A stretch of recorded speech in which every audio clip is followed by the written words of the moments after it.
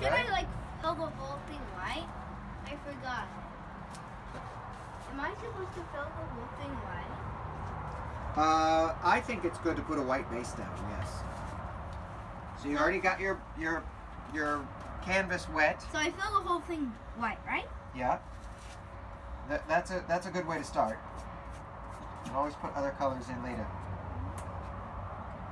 It still looks like it's there's like water though.